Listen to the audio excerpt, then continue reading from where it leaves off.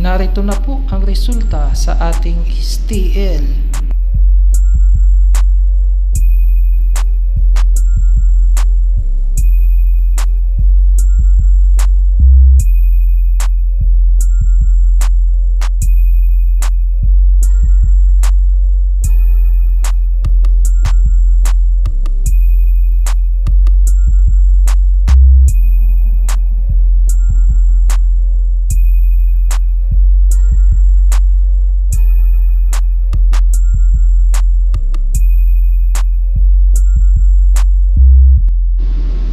Congratulations po to all the winners.